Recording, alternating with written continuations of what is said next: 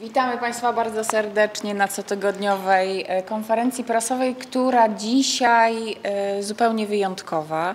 E, będzie to podsumowanie projektu prowadzonego przez Słupszczankę, ale od kilkunastu lat mieszkającą w Londynie, wolontariuszkę, która przeszkoliła wszystkie chyba możliwe instytucje publiczne w Słupsku i w regionie słupskim, łącznie ze szkoleniami e, dla kadry pracującej w domach dziecka, które e, przeniesione zostały do Rowów i do Ustki e, z Ukrainy. Agnieszka Kachinde, która z potrzeby serca zgłosiła się, uwaga drodzy Państwo, żeby przyjechać tutaj na trzy miesiące bezpłatnego urlopu i pomagać nam, nam, czyli samorządom, bo to, to, to wsparcie objęło nie tylko Słupsk, ale również e, lokalne nasze tutaj sąsiedzkie samorządy, e, żeby przeszkolić całą kadrę szkół podstawowych, przedszkoli,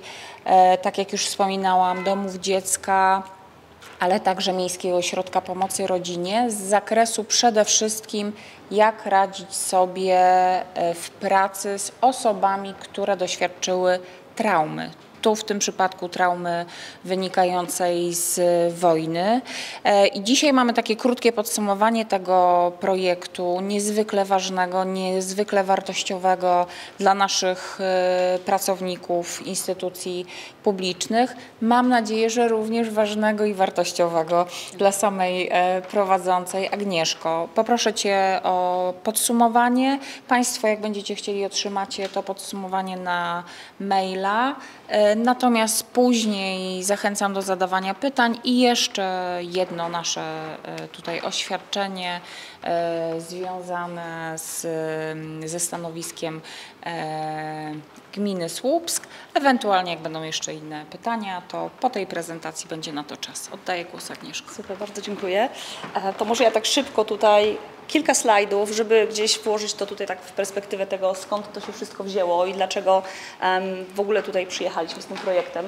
Więc tak naprawdę projekt ten jest odpowiedzią na kryzys i takiej unikatowej strategii Polski, całej Polski w obliczu kryzysu skupiającej się na takiej integracji, asymilacji tutaj naszych e, sąsiadów z Ukrainy, co oczywiście związało się z takim potencjalnym ryzykiem dla całego społeczeństwa, nie tylko dla tych, którzy do nas tutaj przyjeżdżają, ale również e, dla naszego społeczeństwa tutaj polskiego i tutaj było wszystko takie trochę rozszalałe i, i tak naprawdę to ryzyko było związane ze zdrowiem emocjonalnym, psychicznym i takim konsekwencją e, tej traumy.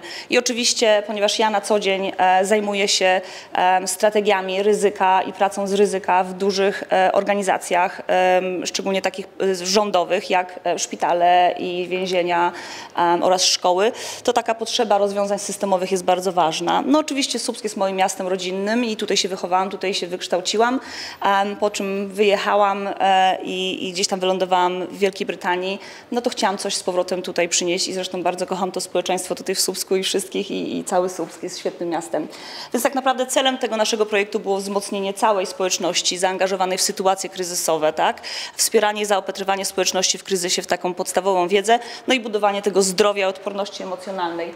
I tu bardzo szybko, że to był cały, to nie tylko ja jedna, ale to cały międzynarodowy zespół, który pracował na ten lokalny sukces. Tak? To przede wszystkim nasze opiekunki, patronki projektu, e, pani Krystyna Danielecka, e, Marta Makuch, e, ja i moja koleżanka Jess jesteśmy liderkami tego projektu, ale owszem mieliśmy również świetne, świetnych doradców kulturowych, naszych tłumaczów, Ola Gazdar, Tetiana Mytych tutaj, które są Ukrainkami, przyjechały i mieszkają tutaj w Polsce.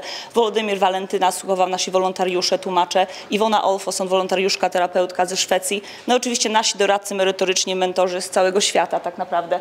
No i tutaj takie organizacje, które nas wspierały i ten cały projekt, to Peaceful Heart Network, ASEP and EFT International. To są nasze organizacje międzynarodowe zajmujące się pracą z traumą właśnie w takich humanitarnych kryzysach na całym świecie.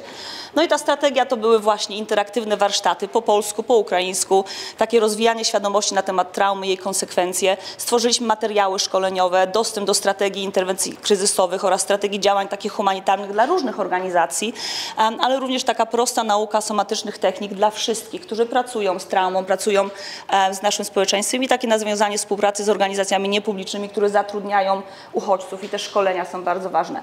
No i tak właśnie to wszystko wyglądało. My już kończymy. Jutro wyjeżdżam z powrotem do Wielkiej Brytanii, a tak to wszystko wyglądało od początku. Zaczęliśmy od propozycji projektu tutaj do pani Marty, do Oli Kołatki, Magdalena Piekarec. Później spotkaliśmy się z tymi wszystkimi przedstawicielami organizacji.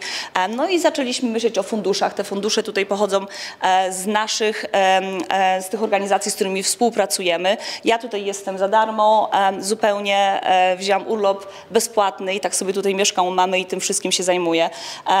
Później w czerwcu rozpoczęliśmy już ten projekt, warsztaty dla pracowników, nawiązanie współpracy z doradcami kulturowymi. Lipiec to kontynuacja pracy ze społecznością. No i oczywiście udało nam się zorganizować dary z Wielkiej Brytanii tutaj do naszego, pomoc, e, do naszego Centrum Pomocy Ukrainie. Też przyjechał cały duży van. No a w sierpniu już skupiliśmy się na pracy z dziećmi w domach dziecka. No i co? Ponad 600, u- 600 uczestników warsztatów zostało przeszkolonych. Stworzyliśmy, przetłumaczyliśmy aplika- aplikację dostępną w języku polskim, ukraińskim, rosyjskim z różnymi materiałami. E, Jest, dostępny, jest dostęp do materiałów szkoleniowych dla wolontariuszy. No i ta, ta współpraca, y, udało nam się e, świetne warsztaty przeprowadzić z większością dzieci w domach dziecka. E, No i tak jak Marta już wcześniej wspomniała, wszystkich w zasadzie tutaj przeszkoliliśmy, bo i nauczycieli we wszystkich przedszkolach państwowych, w szkołach podstawowych, pedagogów, psychologów, e, no i, i, i wszystkich pracowników w domach dziecka.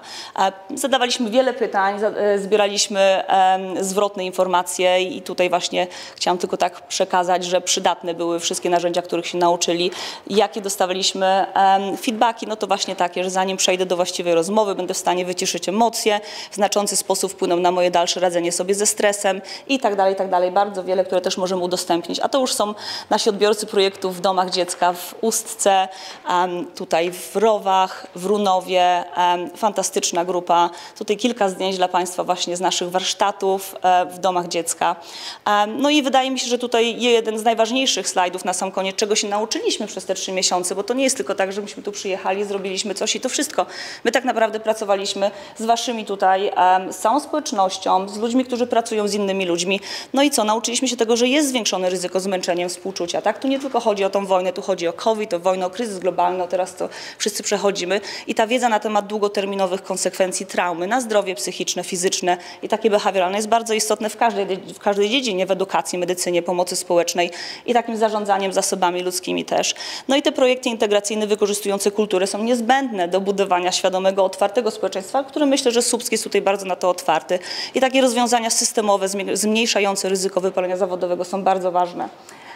No i tak naprawdę plany na przyszłość, przyszłość są takie, że chcielibyśmy kontynuować współpracę tutaj z wolontariuszami już ukraińskimi i tutaj już nad tym pracujemy i z tą y, pracą ze społecznością ukraińską, szczególnie w tych domach dziecka.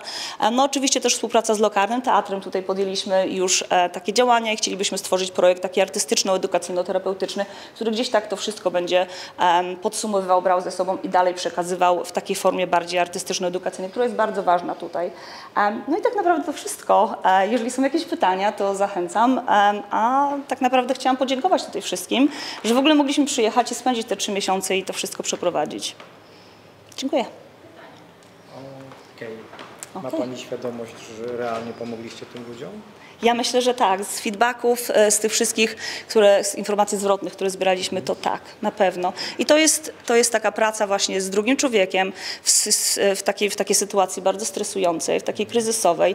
Warto właśnie było em, to wszystko przeprowadzić, żeby ludzie nauczyli się sami regulować swoje systemy nerwowe, a wtedy pracować z innymi. Myślę, że tak. No to jest taki dłuższy, em, dłuższe konsekwencje. A z jakimi kłopotami się zwracali do Was ci, którzy pracują z tymi dziećmi? Znaczy wychowawcy, wolontariusze, inni... W domach dziecka, czy tutaj w ogóle Tak, w ogóle. wszyscy? Przepraszam, tam jest kamera.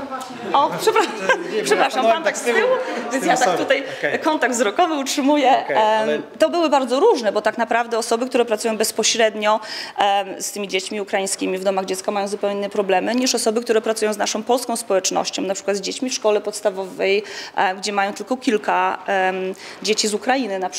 To taka integracja, uczenie jednej społeczności i drugiej, tak przynoszenie ich razem e, i jakby radzenie sobie z tym stresem, to jest troszeczkę inne. Także każdy, ka, każdy miał trochę inne problemy. A ta wojenna część? która dzieci?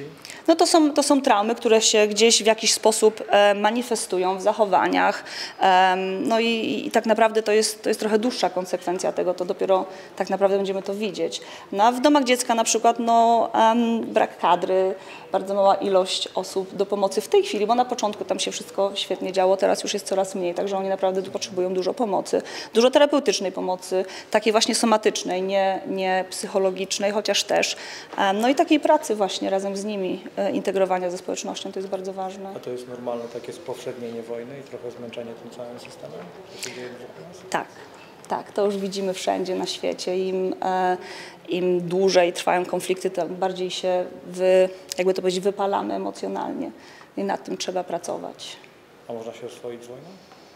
Oswoić to takie duże słowo. Myślę, że można, em, można radzić sobie ze strachem przed wojną, strachem przed przyszłością i nad tym pracujemy i ten projekt się na tym bardzo skupiał, żeby właśnie być świadomym tego, że wszyscy się boimy, bać się trzeba i należy, bo wojna nie jest niczym przyjemnym, nie jest niczym dobrym, ale trzeba umieć sobie radzić ze strachem i myślę, że ten projekt właśnie na tym się skupiał. Dziękuję. Państwo pracowali tylko z dziećmi czy z dorosłymi? Nie, z dorosłymi. No, przez pierwsze dwa miesiące pracowaliśmy tylko z dorosłymi i to byli właśnie pracownicy różnych placówek. tak. Mam na myśli dorosłych. Czy pracowali Państwo też tak, żeby umieć pomóc dorosłym uchodźcom? Tak, tak, oczywiście. Bo te wszystkie, wszystkie placówki, na przykład em, MOPS czy MOP, no oni pracują z dorosłymi uchodźcami, pracują z całymi rodzinami, z całymi systemami, więc tutaj była, ta praca była bardzo ważna i, i, i tak naprawdę po, po tym projekcie jest wiele dużych zmian takich wewnętrznych, na przykład w naszym e, Miejskim Ośrodku Pomocy Społecznej. Bardzo skupili się na superwizji, na tym, żeby sobie pomagać, żeby, żeby obniżać poziom stresu i radzić sobie z takim wypaleniem zawodowym, więc myślę, że, że, że to był bardzo wielki sukces. No, to ja chciałem zapytać, e, jak rozumiem, szkoliliście na przykład Pani nauczycielki, Tak. I teraz nauczycielka w Słupsku będzie wiedzieć, jak dziecko siedzące w grupie będzie malować trupy na ulicach i wreszcie powie, a bo ja widziałem trupy na ulicach i tak dalej, będzie wiedziała, jak się zachować? Myślę, że będzie wiedziała przede wszystkim, jak, jak pomóc sobie, żeby się tego nie przestraszyć, żeby wiedzieć, co z tym dalej zrobić. I to jest takie ważne, bo tak naprawdę e, pomoc psychologiczna, pomoc emocjonalna ma kilka poziomów. My pracowaliśmy na poziomie pierwszym, czyli takiej samoregulacji siebie, to znaczy jak ja odpowiadam w momencie stresowym i jak zregulować dziecko, żeby dziecko się szybko odnalazło w takiej stresującej sytuacji, a później to już, to już dalej cały system musi z tym pracować. Tak, nauczycielka musi mieć możliwości, żeby zreferować dziecko do psychologa czy do psychiatry. E, Myślę, Ja że tutaj diagnostyczne... Moje Mhm. dziecko, które przychodzi, mówi, że właśnie kolega jej opowiadał z Ukrainy o tym, to co ja mam zrobić jako rodzic. Przede wszystkim wysłuchać, przede wszystkim nie zamiatać tego pod dywan, nie mówmy o tym teraz, tylko właśnie tak, co, co, co widziałeś, co usłyszałeś, jak się po tym czujesz, em, gdzie to jest i pomóc się zregulować. To na tym wszystko polega. Napisałam taki dosyć duży artykuł w, w tramwaju słupskim i o tym bardzo dużo tam e, opowiadałam, więc to można sobie przeczytać właśnie, jak pomóc dzieciom e, w rozmowach, jak rozmawiać z dziećmi o wojnie. Dziękujemy. Bardzo dziękuję. Może tak w uzupełnieniu, Pani Prezydent, o jakiej y, y, społeczności my mówimy? Ilu gości z Ukrainy? Czy mają Państwo w miarę świeże dane? Mniejsze, około 10% dzieci w Polsce. To jest dynamiczny bardzo, nie? To jest bardzo dynamiczne i my nie mamy takiej ostatecznej e, liczby, szczególnie, że no nie wszyscy na przykład zapisują dzieci do szkoły, ale widzimy, że w porównaniu do takiego momentu szczytowego po wybuchu wojny do e, wakacji mieliśmy w szkołach około 1100 dzieci ukraińskich. Na dzień dzisiejszy zapisanych mamy 1600, więc to pokazuje, że cały czas e, osoby przyjeżdżają do Słupska, e, znajdują tutaj e, miejsce zamieszkania, pracę. Decyzji dotyczących e, PESEL-u mieliśmy kilka tysięcy. Nie wiemy, naprawdę. Myślimy, że w Słupsku jest to liczba no, powyżej 5 tysięcy na pewno. Osób, to na 100%. Te 1600 to są dzieci szkolne, nie liczymy przedszkolaków. To są dzieci szkolne, tak, nie liczymy przedszkolatków. Natomiast chcę przypomnieć, że y, z przedszkolakami jest tak, że y, można było zapisać dziecko na takich samych zasadach jak dzieci e, polskie, więc y, bardzo często osoby, które nie mają pracy, chociaż jedno, no nie otrzymywały punktów e, związanych właśnie z tym, że nie mam, mam zatrudnienie, nie mam co zrobić e, z dzieckiem, e, więc z całą pewnością sporo takich dzieci po prostu zostanie ze swoimi rodzicami w domach. Okay. Tak, ja jeszcze chcę tutaj podziękować oficjalnie. Coś do picia. Jedzenia? Coś do, nie, do jedzenia kawy nie. Kawa ratuszowa, chińskie wino, coś dla ducha, czyli do pracy. Bardzo dziękuję. Bardzo, bardzo, Głupińskie. No głupińskie, ale... Ale bardzo- ale są czerwone czy białe? Czerwone, bardzo, Bardzo dobre. dobre, bardzo Bardzo, dobre. Naprawdę. Bardzo dobre. Y, Ja nie jestem miłośniczką czerwonego wina, ale to naprawdę jest smaczne. Nie, naprawdę kupiłam Nie, specjalnie, bo piłam i mi smakowało. Jak jest 16 to bardzo dobre, jak 20 to dobre. Nie wiem, pan mi wczoraj sprzedawał. Na pewno bardzo dobry. Na najlepszy, to jest ten najlepszy na rocznik. To jest dwa- to mocniejsze 12,5. Na Dobra, pewno. to z tym oświadczeniem może pojedziemy, co? Dobrze. Bardzo dziękuję. Weź sobie kochaną Idę. gdzieś tam. Już. Idziemy z oświadczeniem.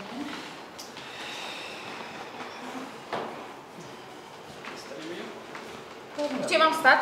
Tu? No tu. E, Za chwilę Państwu rozdamy e, naszą odpowiedź na publiczne wezwanie z dnia 24 sierpnia, które otrzymałam e, od gminy Słupsk. No nie ukrywam, że to wezwanie mm, spowodowało uśmiech na mojej twarzy. Bo tak naprawdę e, absolutnie chcę podkreślić, że e, moja wypowiedź e, nastąpiła na skutek e, chociażby tego, że gmina Słupsk do dzisiaj nie zechciała pokazać nam dokumentów związanych ze sprzedażą działki, a jest to prawo każdej osoby, każdej, która przyjdzie z ulicy i zechce zobaczyć e, takie dokumenty, operat e, dotyczący wyceny chociażby e, terminów, ogłoszeń, wadium. E, e, Zostało to przekazane e, do prawnika i taką mamy odpowiedź, że nie może być nam udostępnione. E, W związku z tym, że mamy e, podejrzenia i ja też e, tak też mówiłam, że ta procedura może nie być e, prawidłowa. E, Postanowiliśmy mm, zawiadomić e, odpowiednie organy, które zbadają tę procedurę i rozjaśnią sytuację, czyli RIO i NIK. E, Tu Państwo macie więcej szczegółów w naszym oświadczeniu. Ja osobiście oczywiście również odpowiem na to wezwanie, że nie będę przepraszać, nie będę odwoływać e, swoich słów. E, Z całą pewnością chcę potwierdzić, że mamy prawo mieć wątpliwości co do słuszności i zgodności z przepisami e, prowadzenia sprzedaży tych działek. Czyli gmina się powinna wstrzymać z tą transakcją, nie sprzedawać tych działek i poczekać aż e, przejdą na rzecz miasta? E, No, ja bardziej apeluję o mm, rozwagę w doborze słów i ochłonięcie z emocjami, ponieważ e, to, co powiedzieliśmy, no nie wynika z. Znaczy wynika z konkretnych e, obaw i przesłanek e, wynikających z przepisów. E, W naszej ocenie przede wszystkim ta sprzedaż może być dla potencjalnego kupującego później kłopotliwa. Więc, Jakie są przesłanki, Pani Prezydent? Tak jak już powiedziałam, chociażby fakt y, tego, że nie możemy zobaczyć operatu, nie możemy zobaczyć dokumentów, choć przypomnę, pan wicewójt publicznie namawiał miasto, żeby wystartowało w przetargu i sobie kupiło e, działki. Natomiast nie chciałabym też mówić o szczegółach, ponieważ jesteśmy w trakcie e, różnych czynności formalno-prawnych, które będą zmierzały ku temu, żeby, tak jak już mówiliśmy, e, pokazać, czy ta procedura jest zgodna z przepisami. Pani prezydent jest bardzo dyplomatyczna, to ja zapytam wprost. Czy może po prostu chodzi o to, do czyjego budżetu te pieniądze trafią? Czy do budżetu gminy, czy do budżetu miasta? To myślę, że to jest przede wszystkim przesłanka pani wójt, która chciałaby, żeby te pieniądze trafiły do budżetu gminy. Natomiast nasze przesłanki są bardziej, powiedziałabym, formalno-prawne. Czy coś wiadomo w sprawie kary dla ZIM-u? ZIM się będzie odwoływał, czy nie? E, ZIM e, przede wszystkim będzie chciał, żeby ta kara była scedowana na wykonawcę, który zawinił ale- sytuacji. ale Czyli przyjmie karę i będzie dalej e, wzywał do uiszczenia tej kary podwykonawców. Ale najpierw zapłaci, czy będzie namawiał wykonawcę? Jaka będzie kolejność? Myślę, że to będzie się działo równolegle. Na pewno musimy dotrzymać terminów, tak, żeby, żeby kara była zapłacona, ale e, będziemy robili wszystko, żeby to wykonawca e, poniósł konsekwencje finansowe tej sytuacji. Sami się przyznajemy, że jednak uszkodzono trzeba. Tym samym przyznajemy się, że zapłacimy karę, która została na nas nałożona. Jeśli chodzi o y, powiększenie miasta, jaka jest teraz y, mapa drogowa? Mamy wrzesień, 4 miesiące i Nie rozumiem pytania. no, co teraz się dzieje na, y, na odcinku? No, co, nic nie zrobicie i, i, i 1 września postawicie tabliczkę, że tutaj się zaczyna Słupsk? Już, zaraz. Panie sekretarzu, ja poproszę powiedzenie o, tak, jakie kroki teraz takie Na jakim prawne, etapie jesteśmy? analiz generalnie.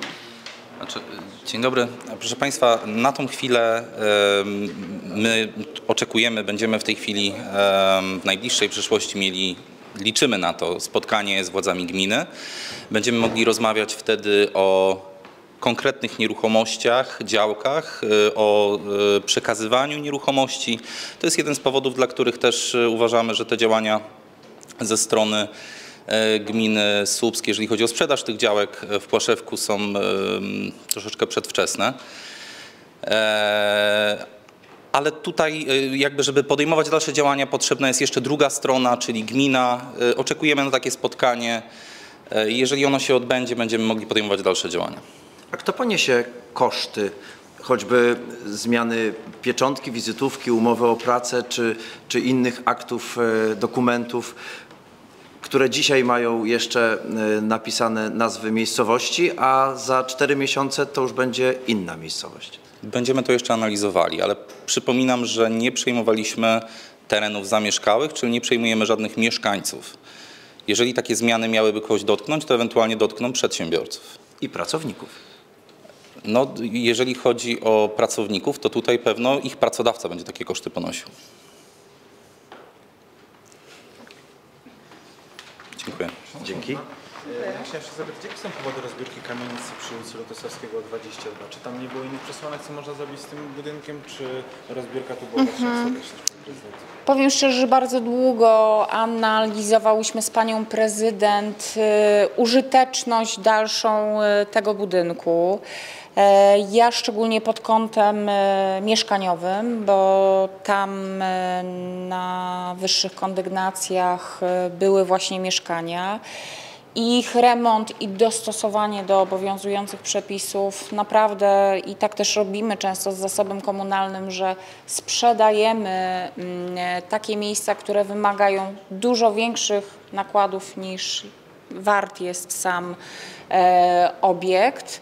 To była jedna rzecz. Druga, że poza tak naprawdę użytkowym par, parterem, gdzie było kilka instytucji, one bez problemu znalazły e, swoją siedzibę w budynku naprzeciwko, czyli w zabytkowej, pięknej kamienicy należącej do Filharmonii e, którą mamy marzenie, kiedyś będziemy właśnie odnawiać, żeby była kolejną taką perełką w mieście, bo ona rzeczywiście jest bardzo wartościowa. E, Tu chcieliśmy uporządkować przestrzeń. E, tak jak powiedziałam, funkcje, które ten budynek mógłby pełnić, były bardzo ograniczone. Tak naprawdę na dzisiaj w tej chwili stanowi to tylko i jedynie magazyn dla Teatru Nowego. Nie można tam nikogo wprowadzić do tego mieszkania e, i zostaje użytkowy tylko par, parter. Dodatkowo stan techniczny no nie jest na tyle zadowalający, żeby inwestować w bardzo, bardzo kosztowny remont em, tej kamienicy. No i trzecia rzecz, że ten y, kawałek rzeczywiście pięknieje miasta. Mamy teatr, mam nadzieję, że w perspektywie najbliższych lat będziemy mieć piękną filharmonię. E, I warto by było odsłonić, a tam zazielenić ten, y, ten róg, ten skwer, y, tak żeby to było kolejne zielone miejsce w centrum miasta. Tablica tam zostanie. Będziemy myśleć, w jakiej formie y, no, tą tablicę przenieść. O tak powiem, nie ma jeszcze, drodzy Państwo, ostatecznych decyzji. My jesteśmy na etapie analizowania, e, sprawdzania właśnie, jak e, inaczej ten teren e, wykorzystać. Nie jest to, nie jest to budynek, który naturalnie mógłby być wykorzystany właśnie do innych funkcji. Wymagałby naprawdę bardzo dużego e, zaangażowania i środków, i przearanżowania. Na dzisiaj on jest w bardzo niskim stopniu e, użyteczny. To jeszcze o HIT chciałbym zapytać. Czy mm, władze miasta wzorem władz innych miast y, będą rekomendowały y, dyrektorom szkół odejście od jedynego podręcznika rekomendowanego z kolei przez y, ministerstwo, czy nie?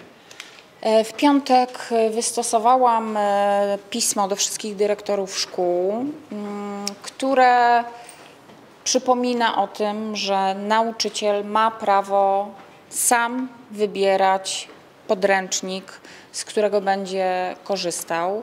Przypomniałam również, że trwają prace i są bardzo zaawansowane nad kolejnym podręcznikiem. On jeszcze nie jest ostatecznie zaakceptowany, ale wierzę w to, że to jest naprawdę niedługi okres czasu. Ze względu na to, że ten jeden, jedyny podręcznik, który dzisiaj mamy, budzi bardzo dużo kon- kontrowersji, e, zaapelowałam do naszych dyrektorów, żeby rozmawiali z nauczycielami, żeby wstrzymali się do czasu, kiedy będą mieli wybór i wtedy podjęli decyzję. Mogą również korzystać z własnych materiałów. Wiem, że Urząd Marszałkowski już pracuje nad takim pakietem materiałów, więc bardzo możliwe, że również będziemy em, podsuwali naszym nauczycielom inne rozwiązania. Natomiast chcę jasno powiedzieć, że jest to decyzja nauczyciela. My możemy sugerować to, żeby jak najlepiej dobrać y, formy, metody i narzędzia nauczania, żeby to było z korzyścią dla uczniów i uczennic. To jeszcze przed tym rokiem szkolnym 1600 uczniów y, z obywateli Ukrainy pójdzie do szkół podstawowych i liceów, ponadpodstawowych szkół też? Tak jest. Łącznie? To Czy jest, dla nich tyczy trzeba to było- tylko, pa, pani dyrektor, 1600 i szkoły podstawowe i średnie, prawda? E, Mamy aż 8 oddziałów e, przygotowawczych, czyli takich, które e, cztery w liceach, e, pozostałe cztery w szkołach te, technicznych. E, e, Też e, te, te oddziały przygotowawcze pokazują, jaka jest skala uczniów, którzy w ogóle nie mówią w języku polskim, potrzebują rzeczywiście takiej wzmożonej pracy, oczywiście ucząc się przedmiotów, bo to też chcę, to nie jest tylko nauka języka polskiego, to jest nauka języka polskiego z nauką przedmiotów, więc rzeczywiście jest to y, gro uczniów, uczennic, którzy, które potrzebują od podstaw w ogóle wejść tutaj y, w, w, i w polski system, w polskie środowisko, a przede wszystkim poznać y, język i codziennie przybywają kolejne y, osoby. Jest to bardzo duże wyzwanie, natomiast na dzisiaj sytuacja jest opanowana, jesteśmy przygotowani do tego. Wymagało to dodatkowych prac, czasami jakichś remontowych czy, czy, czy, czy zakupów, y, ławek, sprzętu. E, Przygotowaliśmy się przez wakacje, także myślę, że, że wszyscy chętni będą przyjęci do naszych szkół. Oni najpierw idą do tych klas przygotowawczych, a później do... do... Nie wszyscy. No Jeżeli, ci, jeżeli część. językowe. Tak jest. Ci, którzy nie poradzą sobie, tak powiem kolokwialnie, w klasie e, zwykłej, gdzie po prostu no, jest realizowana podstawa programowa w języku polskim e, na wszystkich lekcjach, więc ci trafią do oddziałów przygotowawczych. Natomiast chcę powiedzieć, że widzimy, że szybkość przystosowania się i uczenia e, języka przez e, te młode osoby uchodźcze jest naprawdę bardzo, bardzo duża. To w podstawówkach takich klas przygotowawczych nie będzie? Mówiła Pani Będą. cztery ogólniaki, cztery, powiedziałam. technika. Cztery, cztery szkoły ponadpodstawowe, cztery y, szkoły podstawowe. A ile jest uczniów w ogóle? Szkoła podstawowa w W szkołach podstawowych i liceum. Właśnie tak troszeczkę jakby pani y, prezydent i pani dyrektor, tak troszeczkę y, y, Danych? statystyki takiej, tak, pierwszowrześniowej. Pani dyrektor, proszę. Oczywiście, więc mówimy o statystykach teraz, tak? Tak, ilu uczniów do, do jakich typów Wiecie szkół, państwo- ile klas więcej, bo Oczywiście. to półtora rocznika Oczywiście. do Wiecie Państwo, średnich. jeszcze właściwie rekrutacja się nie kończy. Często bywa tak, że rodzice zapominają, przychodzą, analogicznie jeśli chodzi o dzieci zainteresowane, dzieci y, z Ukrainy. E, Tak jak pani prezydent powiedziała, dziennie mamy 17, ponad 20 osób, którzy są zainteresowani e, edukacją w naszych szkołach. I staramy się rozwiązać e, tak, e, ten, e, ten temat na dzisiaj. Natomiast jeżeli będą w takim tempie przybywały te dzieci, będzie, będzie to problem dla nas, ponieważ no, ograniczone są możliwości lokalowe. Natomiast co do statystyk, sytuacja wygląda w ten sposób, że troszkę mniej jest dzieci w szkołach podstawowych, ponad 5200 e, łącznie na tę chwilę. W szkołach ponadpodstawowych e, dużo więcej jest, ponieważ przypominam, że rekru- rekrutacja obejmowała półtora roku szkolnego, w związku z czym e, w szkołach ponad- ponadpodstawowych ta liczba przekracza 5500. W przedszkolach jest Konstans, e, e, 100 oddziałów, chociaż, chociaż przepraszam, dodatkowy oddział integracyjny mm, został uruchomiony w przedszkolu numer 8. E, To wynikało ze specyficznej organizacji dotychczasowego oddziału. Czy ten rok będzie pod jakimś kątem, w jakimś sensie wyjątkowy? Ja myślę, że każdy rok jest wyjątkowy, natomiast na pewno, e, na pewno jest e, trudny. E, W związku z tym, że zmieniają się przepisy, e, przypominam również o nowych e, specjalistach, którzy, którzy mają być zatrudnieni, czyli pedagog specjalny. Na rynku jest problem z pedagogami, bo, mm, no bo jest taka sytuacja. A mówiąc o problemach, też przypominam, że z roku na rok jest tak, że coraz trudniej e, jest o zatrudnienie nauczycieli. Początkowo było tak, że to dotyczyło e, nauczycieli przedmiotów zawodowych. Dzisiaj już e, sytuacja wygląda nieco gorzej, e, ponieważ dyrektorzy zatrudniają, e, nie mogąc oczywiście zatrudnić nauczycieli, ponieważ jest ich na rynku coraz mniej, zatrudniają e, e, tych nauczycieli, którzy już odeszli na emeryturę. Na tę chwilę jest ich ponad 40. E, W związku z tym, no tutaj też, e, jeśli mówimy o trudnościach, o, o, o Przepraszam Pani dyrektor, 40 nauczycieli już było na emeryturze i wróciło do szkoły. Dokładnie tak. Ponad 40 nauczycieli zostało zatrudnionych, nauczycieli emerytów zostało zatrudnionych, ponieważ dyrektorzy muszą przygotować tak organizację, żeby e, zafunkcjonowała od 1 września, czyli każdy przedmiot musi e, mieć e, nauczyciela, który tego przedmiotu będzie uczył. Ja jeszcze myślę tylko o jeden drobiazg zapytać, no bo wiadomo, że uczniów będzie więcej w szkołach, żeby tego ścisku nie było, trzeba jakoś ten dzień w szkole rozplanować. To do której godziny będą trwały najpóźniej lekcje, jak Pani kojarzy? Bo pamiętam, to- że, że, Czy będą dwie zmiany? że, że Nie, nie, nie. z tym problemy. Nie, n- nie wiem, być może Państwo nie pamiętacie, w ubiegłym roku, dwa lata temu mówiliśmy, że tak naprawdę możliwości lokalowe naszych jednostek są znacznie, wówczas były znacznie większe niż e, rzeczywiście liczba oddziałów. Dzięki temu, że że właśnie była taka sytuacja na tę chwilę, nie będzie e, dwuzmianowości. Nowa matura będzie. No tak, no właśnie. To E, kolejne także- wyzwanie na ten rok? No więc, tak jak powiedziałam, będzie dużo wyzwań. Nowe przepisy, e, z tym musimy się uporać, zmiana w karcie nauczyciela, nowi specjaliści. No właśnie, dużo wyzwań. Ale każda klasa będzie miała nauczyciela, będzie miał kto uczyć nasze dzieci i młodzież. No tak, oczywiście. A ilu nauczycieli brakuje na chwilę obecną, a ilu jest łącznie w szkołach miejskich? Ponad 1500. E, e, Wie Pani, to jeśli chodzi o nauczycieli, to, jest, e, to nie jest takie jednoznaczne, bo jest liczba nauczycieli w osobach i jest liczba przeliczeniowa, etatowa tak zwana, więc to zależy o której liczbie mówimy. Ponad 1500 nauczycieli w naszych szkołach. A wakatów? Mm, Na tę chwilę nie ma wakatów. Na tę chwilę dyrektorzy e, wszystko robią, żeby te wakaty wypełnić i między innymi właśnie zatrudniając emerytów.